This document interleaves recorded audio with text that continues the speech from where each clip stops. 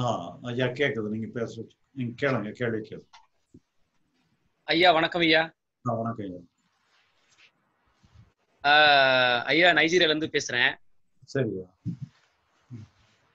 இப்போ உங்களுக்கு ஐயா கிட்ட கேள்வி என்னன்னாக்க உங்களுக்கு டைம் என்ன இப்போ? டைமுங்களாயா டைம் வந்து ஒரு நிமிஷம் இருங்கய்யா டைம் நான் இன்னும் பார்க்கல. மணி மூன்றரை இருக்குங்கய்யா மூணு பகலா. ஆமாங்க ஐயா மத்தியானம் மூணு மணி. சரி சரி ஓகே. சரிங்கய்யா. நான் ஐயா கிட்ட என்ன கேள்வி கேட்கறது அப்படின்னா ஐயாவோட வேதாந்த புத்தகங்கள் படிச்சேன். சரி. அதுல வந்து ஐயா வந்து ஐந்து நிலைகள்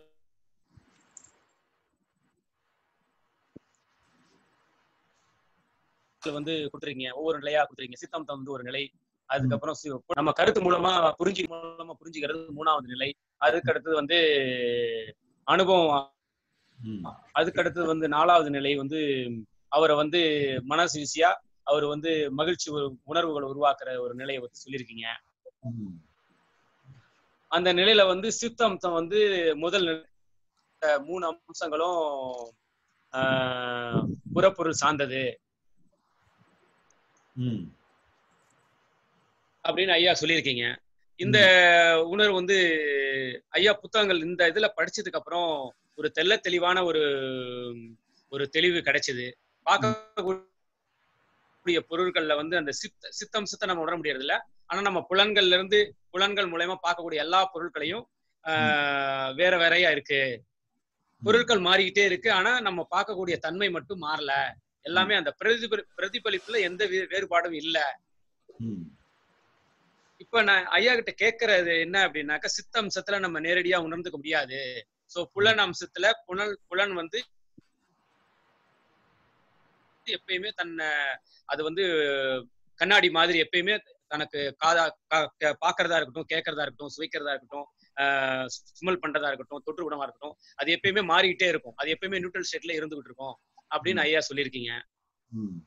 இப்ப ஐயா கிட்ட என்ன கேக்குறதுன்னா இப்ப இன்னைக்கு சாதாரண வாழ்க்கையில நம்ம வாழ்ந்துட்டு இருக்கோம். நம்ம எந்த எந்த ஸ்டேட்ல எந்த எந்த நிலையில இருந்துகிட்டு நம்ம இப்போ நம்ம வாழ்ந்துட்டு இருக்கிறோம் அப்படிங்கறது ஐயா கிட்ட ஒரு கேள்வியா இருக்குங்கய்யா கேக்குறேன்.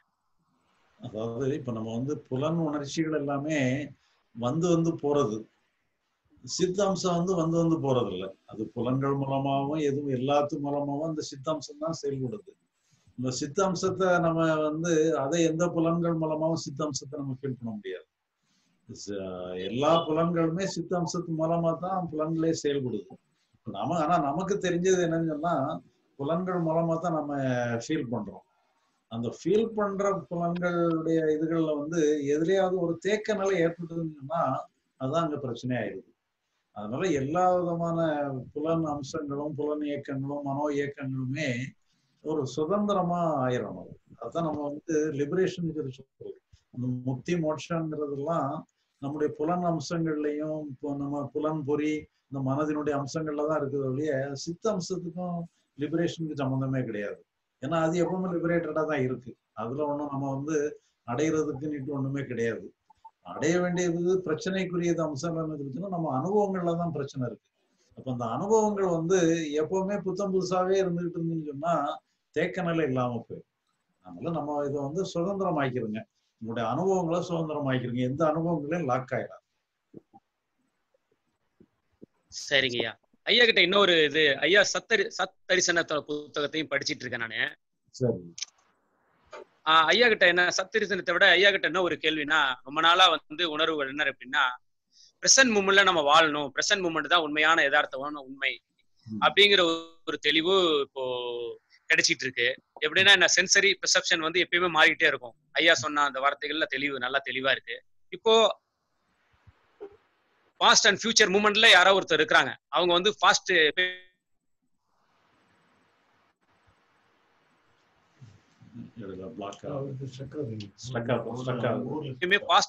இன்சிடென்ட்ஸ் வாழ்க்கையில நடந்தக்கூடிய வாழக்கூடியவர் எப்படி இன்டராக்ட் பண்றதுங்கிற ஒரு பெரிய சவாலா இருக்குங்கய்யா இதுக்கு ஐயாவுடைய ஒரு யோசனை என்னன்னு சொன்னீங்கன்னா நல்லா இருக்குங்க இல்ல நீங்க மொத்தத்துல வந்து எப்பவுமே வந்து பாஸ்ட் வந்து நம்ம ரெகுலேஷனுக்கு பாஸ்ட் தேவைப்படுது. ப்ரெசன்ட்ங்கிறது எல்லாமே கணந்தோறும் வந்து வந்து முடிஞ்சு போயிருது. அப்போ நமக்கு வந்து அந்த நம்முடைய மனோ இயக்கத்தை பொறுத்த அளவுல இங்க ப்ரெசன்ட் தான் இருந்துகிட்டு இருக்கு. அந்தந்த நேரத்துல என்னென்ன அனுபவிக்கிறீங்களோ அது மட்டும்தான் இருக்கு. அது அதுவாகவே முடிஞ்சு போயிருது. அது அடுத்த நேரம் கண்ணியாகிறது இல்லை பட் இருந்தாலும் என்னன்னு சொல்லி சொன்னா நாம வந்து ஒரு நினைவு மூலமா பாஸ்ட கொண்டு வந்து நம்ம அதை ப்ரொஜெக்ட் பண்ணி பார்க்கணும். அப்போ அது வந்து நீங்க செயல்களுக்கு நீங்க வச்சுக்கிடுங்க.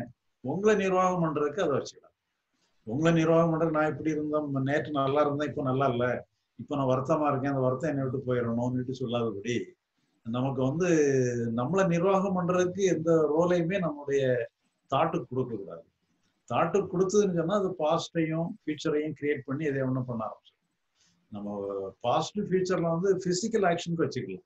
ஏன்னா நேற்று ஒரு தப்பு பண்ணிட்டோம்னு சொன்னா இன்னைக்கு அந்த தப்பு நடக்காம பார்த்துக்கிடணும். நமக்கு ஒரு இன்னைக்கு வந்து நம்ம தொழில கொஞ்சம் நஷ்டம் இருக்குன்னு சொன்னா நஷ்டம் இல்லாதது நாளைக்கு லாபம் வர்ற மாதிரி பண்ணணும்ங்கிறதெல்லாம் நீங்க வந்து உங்களுடைய அனுபவங்கள் இதுகளெல்லாம் பயன்படுத்தி உங்களுடைய பாஸ்ட்டை பயன்படுத்தி ஃபியூச்சரை நல்லா டெவலப் பண்ணணும். இது ஃபீஸ் இது பிசிக்கல் ஆக்ஷனுக்கு கரெக்ட் சைக்கலாஜிக்கலா வந்து மூமெண்ட் பை மூமெண்ட் நீங்க புதுசு தான் பழசு நிட்டு ஒண்ணுமே கிடையாது. அது வந்து நீங்க கற்பனையில தான் பழச பார்க்க முடியும் ஒழிய அனுபவத்துல வந்து நீங்க பழசு நிட்டு ஒரு அனுபவமே கிடையாது. நேற்று அனுபவிச்ச அனுபவத்தை இப்ப அனுபவிக்க முடியும். ஒவ்வொரு கணந்தோறும் புது புது அனுபவம் தான். அதனால நீங்க வந்து ஃப்ளோயிங்லேயே போயிட்டே இருக்க வேண்டியது. புத்தம் புதுசாவே மனசை பொறுத்த அளவுல நீங்க எப்பவும் புத்தம் புதுசாவே இருந்துகிட்டு இருங்க இதான் இருக்கிறோம் நாம.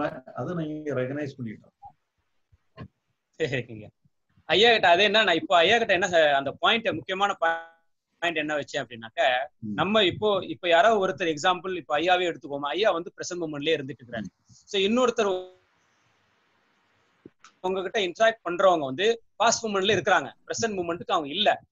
எல்லாம் தெளிவா வந்து அவங்க பிரசன்ட் மூமெண்ட்ல இல்ல அப்படிங்கறத ஐயா நீங்க உணர்ந்துக்கிறீங்க. அப்படிங்கும்போது அவங்க வந்து பாஸ்ட் மூமெண்டோட அந்த ரெக்கார்ட்ஸ் இன்சிடென்ட் ம். அப்பாவா இருக்கட்டும் ஒரு சிஸ்டரா இருக்கட்டும் ஏதோ ஒரு இஷ்யூஸ் எடுத்துக்கிட்டு அவங்க பேசும்போது அந்த பாஸ்ட் இன்சிடென்ட்ஸை வச்சு தான் அவங்க வந்து ரெஃபர் பண்ணி தான் பேசுறாங்க. ஸோ போது அவங்க கிட்ட நம்மளோட இன்ட்ராக்ஷன் ஒரு பிரசன்ட் மூமெண்ட்ல இருக்கிறவங்க அவங்களோட இன்ட்ராக்ஷன் அவங்களுக்கு எப்படி அப்ரோச் பண்ண ஐயா வந்து சொல்லியிருக்கீங்க கிவ் ஸ்பேஸ் அதாவது அவங்கள்ட்ட எந்த இன்ட்ரா எது ரியாக்ஷன் பண்ணாம ஸ்பேஸ் கொடு ஸ்பேஸ் கொடுத்து அவங்க பேச விடுங்க. அந்த மாதிரி. அப்போ அந்த சமயத்துல நம்ம பிரசன்ட் மூமெண்ட்ல இருக்கிறவங்க எப்படி அவங்களுக்கு ஒரு இன்ட்ராக்ஷனை ஒரு கொண்டு போறது? அதாவது இப்ப நீங்க என்கிட்ட பேசிட்டு இருக்கீங்கன்னு சொன்னா அதுதாங்க முக்கியமான அதான் இப்ப நீங்க என்கிட்ட பேசிட்டு இருக்கீங்கன்னு சொன்னா உங்களை பொறுத்த அளவுல நீங்க வந்து சைக்கலாஜிக்கல் ஆஸ்பெக்ட்ல மட்டும்தான் இருக்கீங்க ப்ரெசன்ட் மூமெண்ட்ல மட்டும்தான் இருக்கீங்க. உங்களை பொறுத்த அளவு மட்டும். இப்ப நீங்க வந்து என்னைய பார்த்து என்கிட்ட பேசுறீங்கன்னு சொன்னாலே இதெல்லாம் வந்து எக்ஸ்டர்னல் ஆக்ஷன் இதெல்லாம் பிசிக்கல் ஆக்ஷன் இதெல்லாம் பிசிக்கல் ஆக்ஷனோட வந்துடும் சைக்கலாஜிக்கல் ஆக்ஷன் கிடையாது. அப்போ பிசிக்கல் ஆக்ஷன் வந்துட்டுன்னு சொன்னாலே எக்ஸ்டர்னல் வேர்ல்டு வந்துட்டுனாலே நம்ம வந்து கால்குலேட் பண்ணிக்கிடலாம் டிசைன் பண்ணிக்கிடலாம். இப்படி செயல்படணும் அப்படி செயல்படணும்னு சொல்லி ரெகுலேஷனோட நம்ம செயல்படணும். அதில் தப்பு கிடையாது. நம்மளை பொறுத்த அளவுல ஒவ்வொரு கணந்தோறும் இப்போ நான் உங்களோட பேசினாலும் சரி நீங்க எங்களோட பேசினாலும் சரி நான் என்னை பொறுத்தல நான் வந்து சைக்கலாஜிக்கலா மூமெண்ட் பை மூமெண்ட் நான் புது நபராக தான் இருக்கிறேன். உங்களை பொறுத்தல நீங்களும் மூமெண்ட் பை மூமெண்ட் புது நபராக தான் இருக்கிறீங்க. இது வந்து சைக்கலாஜிக்கல் ஆஸ்பெக்டாக இருக்கிறீங்க. அதே மாதிரி நானும் என்னை பொறுத்தவரை சைக்கலாஜிக்கல் ஆஸ்பெக்டாக தான் இருக்கேன். அப்போ மூமெண்ட் பை மூமெண்ட் புதுசு தான் அங்க பழசு நிட்டு சொல்லி நான் என்னைய மெயின்டைன் பண்ண வேண்டிய அவசியம் இல்லை. நீங்களும் உங்களை மெயின்டைன் பண்ண வேண்டிய அவசியம் இல்லை. ஆனா அதே நேரத்துல நான் உங்ககிட்ட கேள்வி இப்ப இப்போ உங்ககிட்ட பேசிட்டு இருக்கேன். நீங்க என்கிட்ட பேசிட்டு இருக்கீங்கன்னு சொன்னா இந்த இன்டராக்ஷன்ன்றதுலாம் வந்து பிசிக்கல் ஆக்ஷன் ஆயிடும். அப்போ பிசிக்கல் ஆக்ஷன் ஆகும் பொழுது அங்க வந்து பாசிட்டிவ் ஃபீச்சர் எல்லாத்தையும் நம்ம கணக்குல எடுத்து என்ன பண்ணணும் என்ன பண்ணக்கூடாதுங்கிற மாதிரி ரெகுலேஷன்ஸ் எல்லாமே வந்துடும். அப்போ அது ஒரு நிர்வாகம் வந்துடுது இப்போ பிசிக்கல் ஆக்ஷன்ல பொறுத்தவரை நிர்வாகம் வந்துடுது சைக்கலாஜிக்கல் ஆக்ஷனை பொறுத்தவரை ஃப்ரீடம் மட்டும்தான் இருக்கணும். மூமெண்ட் பை மூமெண்ட் ஒரு அனுபவம் தானா இயற்கையா வரக்கூடிய அனுபவம் மட்டும் வருது. அந்த அனுபவம் மூமெண்ட் பை மூமெண்ட் புதுசா இருக்கு பழசு போயிட்டே இருக்கு புதுசு வந்துகிட்டே இருக்கு. நல்லதுங்கய்யா நல்லதுங்கய்யா. நல்லது நல்லது. நல்லதுங்க நன்றிங்கய்யா. நன்றி. நல்லது.